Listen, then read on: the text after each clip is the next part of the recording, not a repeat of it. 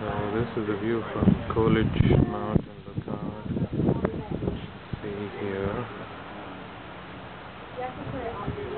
And that is actually Crazy Horse, that little barren brown rock. And then we're moving along here and then now we're looking at the Needles Mount Harney, which is the tallest peak there. Then we're moving along to the post. So we see Mount Rushmore here. That is Mount Rushmore. Just right above the post in the center, that's the head of uh, George Washington. And then we go past here.